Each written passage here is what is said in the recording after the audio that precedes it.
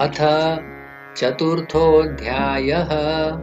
श्रीभगवान् उवाच इमं विवस्वते योगं प्रोक्तवानहमव्ययम् विवस्वान्मनवे प्राह मनुरिक्ष्वाकवे ब्रवीत् एवं परम्परा प्राप्तम् इमं राजर्षयो विदुः। स कालेनेह महता योगो नष्टः परन्तप।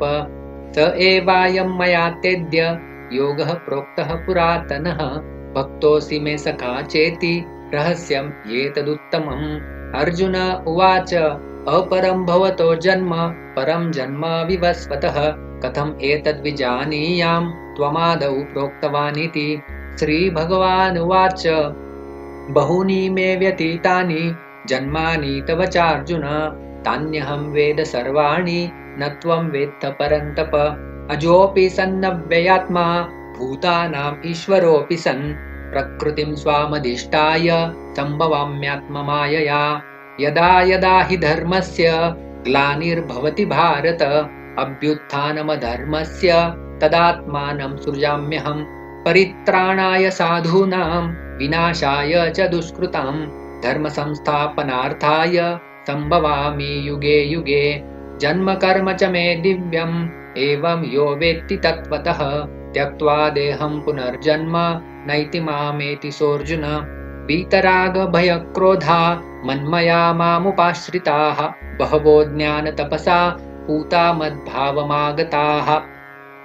ये यथा मां प्रपद्यन्ते तांस्तथैव भजाम्यहम् मम वर्त्मानुवर्तन्ते मनुष्याः पार्थ सर्वशः। काङ्क्षन्तः कर्मणां सिद्धिं यजन्त इह देवताः क्षिप्रं हि मानुषे लोके सिद्धिर्भवति कर्मजा। चातुर्वर्ण्यं मया सृष्टं गुणकर्मविभागशः। तस्य कर्तारमपि मां विद्यकर्तारमव्ययम्। न मां कर्माणि लिम्पन्ति न मे कर्मफले स्पृहा। इति मां योऽभिजानाति कर्मभिर्न स बध्यते। एवं ज्ञात्वा कृतं कर्म पूर्वैरपि मुमुक्षुभिः। कुरु कर्मैव तस्मात् त्वं पूर्वैः पूर्वतरं कृतं। किं कर्म किम कर्मेति, कवयोऽप्यत्र मोहिताः। तत्ते कर्म प्रवक्ष्यामि, यज्ञात्वा मोक्षसे शुभात्। कर्मणो ह्यपि बोद्धव्यं बोद्धव्यं च विकर्मणः। अकर्मणश्च बोद्धव्यं गहना कर्मणो गतिः। कर्मण्यकर्म यः पश्येत्, अकर्मणि च कर्म यः स बुद्धिमान् मनुष्येषु, स युक्तः कृत्स्नकर्मकृत् यस्य सर्वे समारम्भा कामसङ्कल्पवर्जिताः ज्ञानाग्निदग्धकर्माणं तमाहु पण्डितं बुधाः। त्यक्त्वा कर्मफलासङ्गं नित्यतृप्तो निराश्रयः कर्मण्यभिप्रवृत्तोऽपि नैव किञ्चित् करोति सः। निराशीर्यतचित्तात्मा त्यक्तसर्वपरिग्रह शारीरं केवलं कर्म कुर्वन्नाप्नोति किल्बिषम् यदृच्छालाभसन्तुष्टो द्वन्द्वातीतो विमत्सरः। समः सिद्धावसिद्धौ च कृत्वापि न निबध्यते। गतसङ्गस्य मुक्तस्य ज्ञानावस्थितचेतसः। यज्ञायाचरतः कर्म समग्रं प्रविलीयते। ब्रह्मार्पणं ब्रह्महवि ब्रह्माग्नौ ब्रह्मणाहुतं ब्रह्मैव तेन गन्तव्यं ब्रह्मकर्म समाधिना। दैवमेवापरे यज्ञं योगिनः पर्युपासते ब्रह्माग्नावपरे यज्ञं यज्ञेनैवोपजुह्वति श्रोत्रादीनिन्द्रियाण्यन्ये संयमाग्नेषु जुह्वति शब्दादीन् विषयानन्य इन्द्रियाग्नेषु जुह्वति सर्वाणीन्द्रियकर्माणि प्राणकर्माणि चापरे आत्मसंयमयोगाग्नौ जुह्वति ज्ञानदीपिते द्रव्ययज्ञास्तपोयज्ञ योगयज्ञास्तथा परे स्वाध्यायज्ञानयज्ञाश्च यतयः संशितव्रताः। अपाने जुह्वति प्राणं प्राणे पानं तथा परे प्राणापानगतिरुद्ध्वा प्राणायामपरायणाः अपरे नियताहाराः प्राणान् प्राणेषु जुह्वति।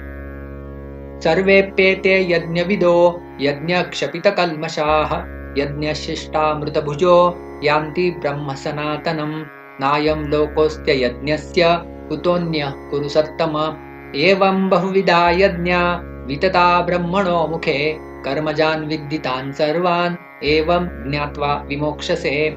श्रेयान् द्रव्यमयाद्यज्ञात् ज्ञानयज्ञः परन्तप।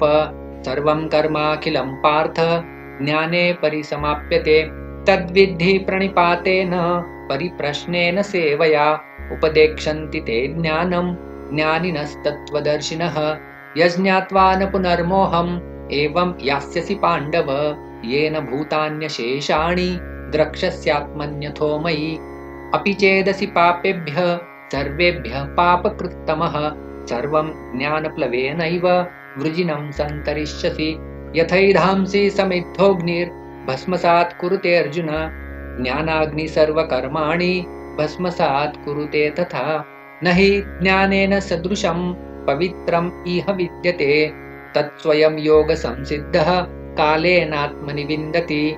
श्रद्धावान् लभते ज्ञानं तत्परः संयतेन्द्रियः। ज्ञानं लब्ध्वा परां शान्तिम् अचिरेणाधिगच्छति अज्ञश्चाश्रद्दधानश्च संशयात्मा विनश्यति। नायं लोकोऽस्ति न परो न सुखं संशयात्मनः। योगसन्न्यस्तकर्माणं ज्ञानसञ्छिन्नसंशयम् आत्मवन्तं न कर्माणि निबध्नन्ति धनञ्जय।